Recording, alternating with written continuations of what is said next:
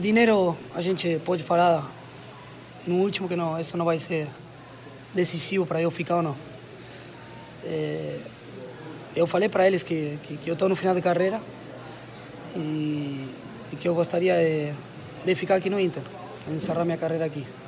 Aí depois, obviamente, quando se confirmar de repente alguma ligação daqui uma semana, dez dias, eu acho que podemos confirmar a, a, a notícia.